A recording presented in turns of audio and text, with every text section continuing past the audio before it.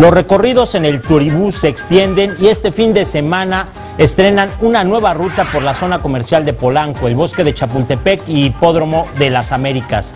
La nueva ruta ofrece recorridos de las 9 de la mañana a las 9 de la noche eh, con un costo de 165 pesos en fines de semana y 140 de lunes a viernes. Serán siete paradas partiendo del Auditorio Nacional para circular por las calles de Arquímedes, Campos Elíseos, Presidente Mazarik, Molière y hasta llegar al centro comercial Antara.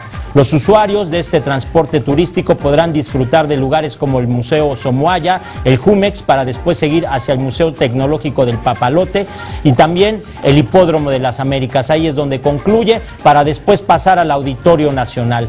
Próximamente incluirá en el tour el nuevo acuario de la Ciudad de México, así es que bueno, pues ya está listo esta zona poniente con el justamente con el turibús. Te invitamos a seguir cuestionando la información con los siguientes videos.